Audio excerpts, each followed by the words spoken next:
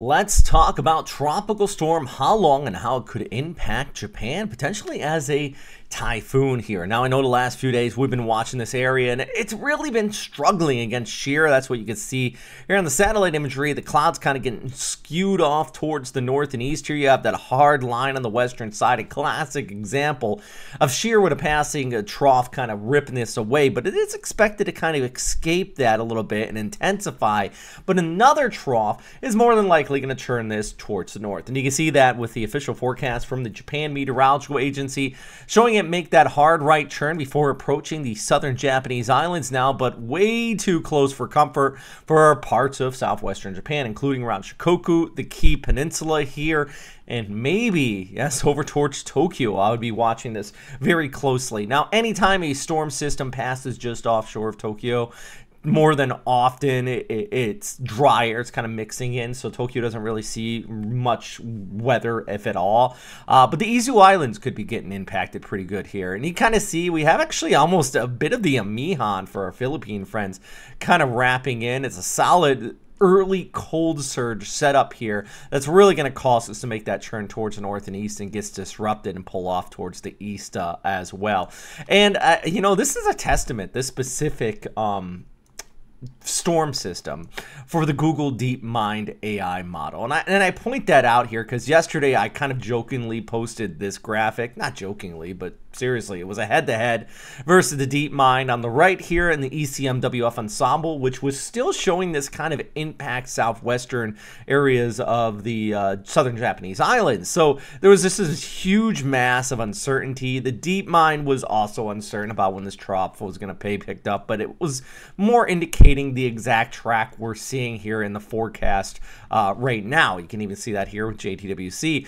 And it does look like yeah, the new AI model from Google, which has only been publicly available for a short period of time. I've seen some starch defenders at the ECMWFs trying to take this personal that I was saying this model's handling it better.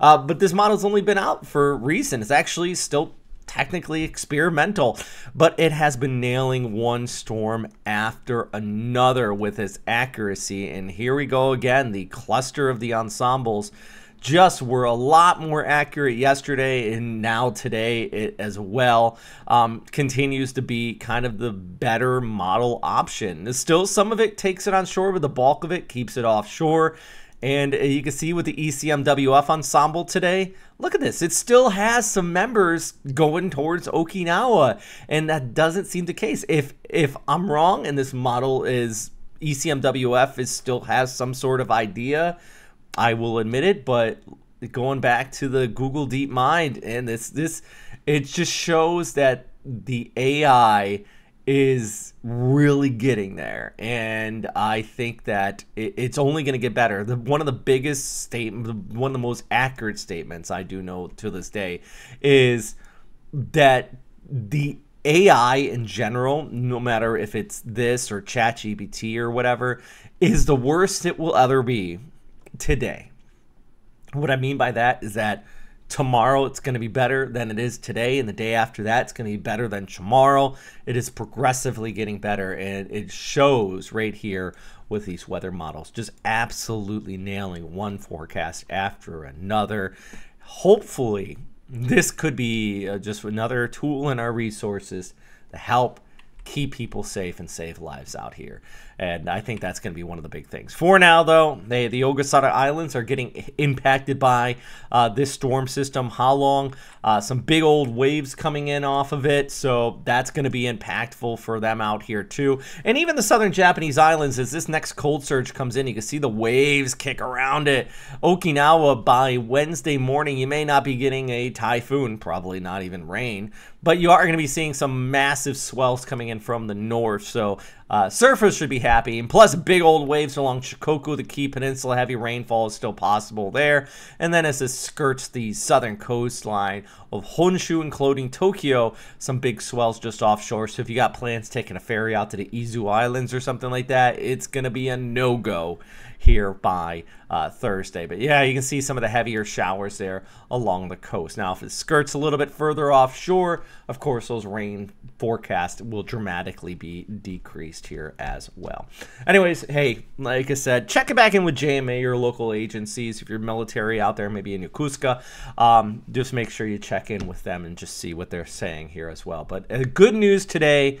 I think a big takeaway from all of this is if you are in Okinawa, it doesn't look like it's going to be impacting you uh, directly here. Some big waves coming off of it, but not going to be seeing that direct impacts. Anyways, I'm meteorologist Robert Speta. I got a separate update on Typhoon Matmo as it came across southern China here.